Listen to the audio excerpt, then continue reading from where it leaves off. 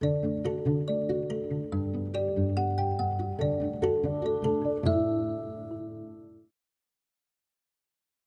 everyone. Thank you for joining us in this session of Spokane Public Schools Keep Learning Series for Literacy. Today's lesson is for all our first graders out there, and any child who is interested is welcome to join us. My name is Katie Jensen, and I'm a reading interventionist and literacy coach at Stevens Elementary in Spokane Schools. And I will be your teacher for this lesson. I'm so glad you're here participating with us today. If you didn't see our previous lesson, you can find it on the KSPS website. You can still tune into today's lesson if you haven't seen any of our others. Today, we will be learning about main idea and supporting details. For today's lesson, you will need a paper and writing utensil. I'll give you a moment to gather your supplies.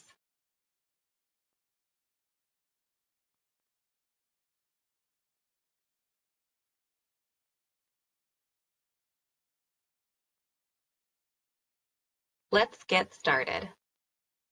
In our last lesson, we talked about how our text is a little different than the ones we've read before. It's an informational text, which means it's teaching us something. This nonfiction book is going to teach us all about apple trees and how trees are plants. In many informational texts, the author uses text features to help you understand the topic. Text features are components or parts of the story that aren't in the main body of the text. Let's look at this page from our book as an example. On this page, the author uses labels. This text feature is not part of the main body of the text. These words are outside of the paragraph, labeling parts of the picture. This makes them a nonfiction text feature. As we read our text today, we are going to be listening for facts about our topic. Our topic is apple trees. The facts that we listen for are called details. The details help support us learning about the topic. Let's start reading. Remember to be listening for facts about apple trees. At the end, we're going to write some of them down and make a diagram of an apple tree using the facts that we've learned. A Tree is a Plant by Clyde Robert Bulla, illustrated by Stacy Schuett. A tree is a plant. A tree is the biggest plant that grows. Most kinds of trees grow from seeds the way most small plants do. There are many kinds of trees. Here are a few of them. How many do you know? Can you remember some of the ones that we talked about yesterday? We have maples, conifers, persimmon, palms, lemon, and willow. Those are our labels our nonfiction text feature. This tree grows in the country. It might grow in your yard too. Do you know what kind it is? This is an apple tree. This apple tree came from a seed. The seed was small. It grew inside an apple. Have you ever seen an apple seed? Ask an adult to help you cut an apple in two. The seeds are in the center. They look like this. Most apple trees come from seeds that are planted. Sometimes an apple tree grows from a seed that falls to the ground. The wind blows leaves over the seed. The wind blows soil over the seed. So when we're thinking of the diagram we're going to make at the end of our reading, I just heard a fact. Our apple tree starts as a seed and the seed is under the soil. So I know that an apple tree grows below the ground and above the ground. So I'm going to need a line of soil Here we go.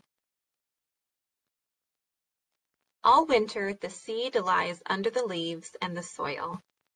All winter, the seed lies under the ice and the snow and is pushed into the ground. Spring comes, rain falls, the sun comes out and warms the earth. The seed begins to grow. At first, the young plant does not look like a tree. The tree is very small. It is only a stem with two leaves.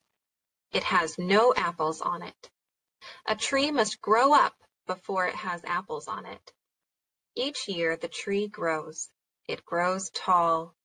In seven years it is so tall that you can stand under its branches.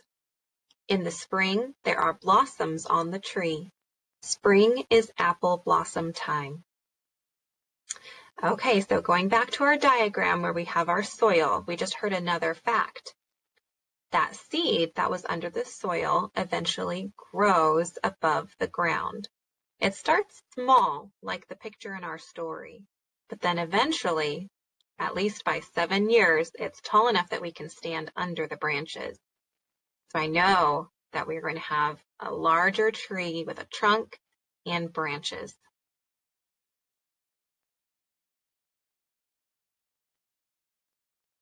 The blossoms last only a few days. Then they fall to the ground. Now there are green leaves on the trees. Among the leaves there are small apples. The apples are where the blossoms were before. The apples are green and they are almost too small for you to see. The apples grow slowly.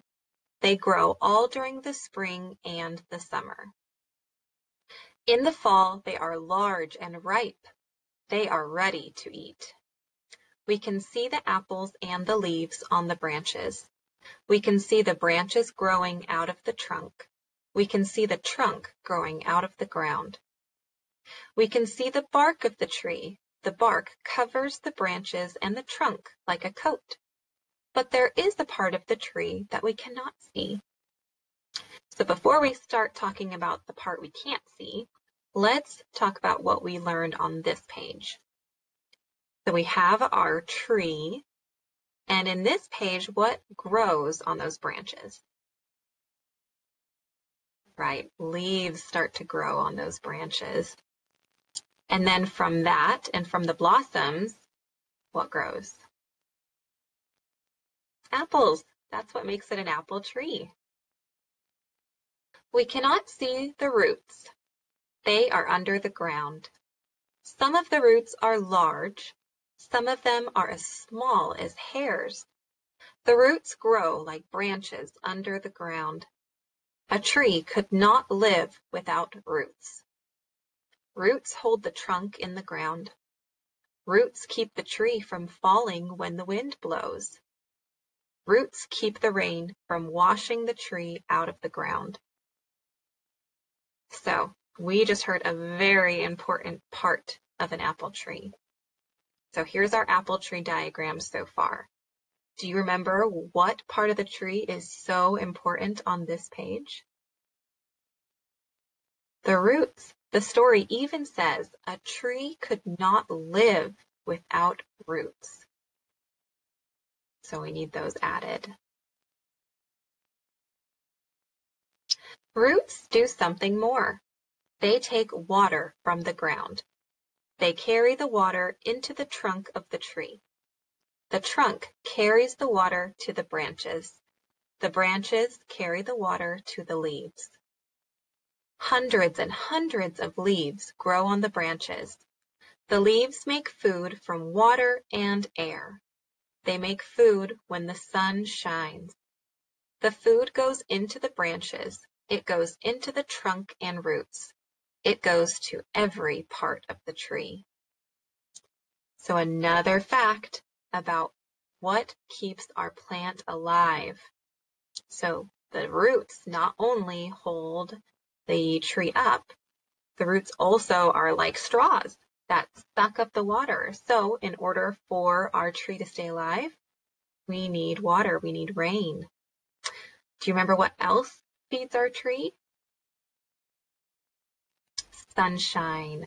The leaves soak in the sunshine and it gives energy to the branches. This is called photosynthesis. Fall comes and winter is near. The work of the leaves is over. The leaves turn yellow and brown. The leaves die and fall to the ground. Now the tree is bare. All winter it looks dead. But the tree is not dead. Under its coat of bark the tree is alive. Spring comes again. Rain falls. The sun warms the earth. The tree blossoms and new leaves grow. As long as it lives, the apple tree grows. As long as it lives, the apple tree blossoms in the spring and apples grow on it. When do you like apple trees best? In spring, when they are covered with blossoms? In summer, when they are covered with leaves? In winter, when they are bare? Or in fall, when they are covered with apples? We learned a lot of facts about trees in that text.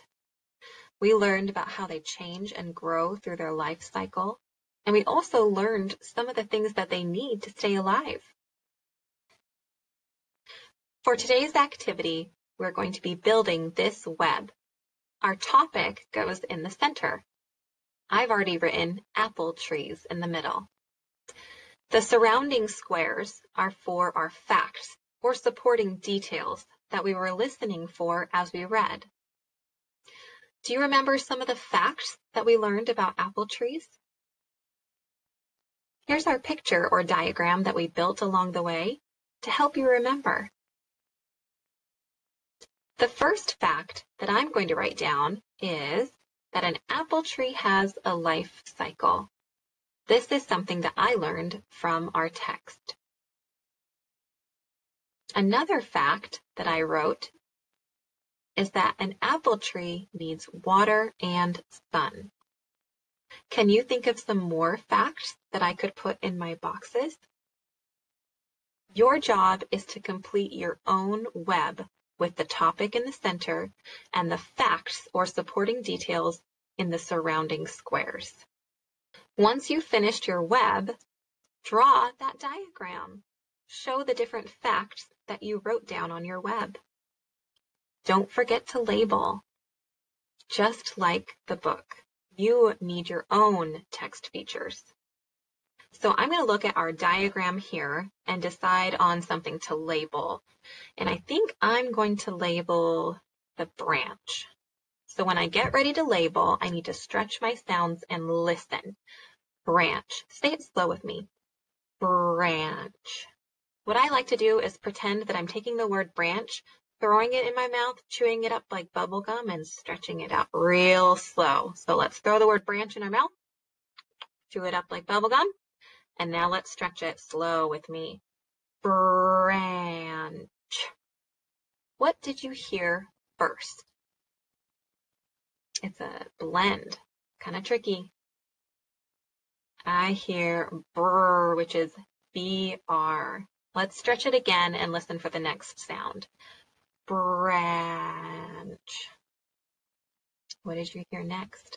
It's a vowel. I heard the ah sound for A. The next sound, you're going to have to listen really carefully for. Listen close. Branch. Do you hear that letter that's hiding? I hear that N sound for N. Now we are on to our final sound. Let's stretch it out one more time. Do it with me. Branch. Do you know that ch sound? It's two letters. We're looking for the digraph CH. Let's check and make sure that it says branch. Branch. Do I have all my sounds? Awesome. Then I would be ready to label the next thing on my picture. Here are a couple of other things that you could add to your picture and label.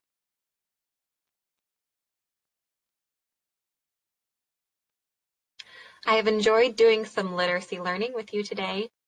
Thank you for joining me as you keep learning from home. I look forward to seeing you again for our next lesson on KSPS.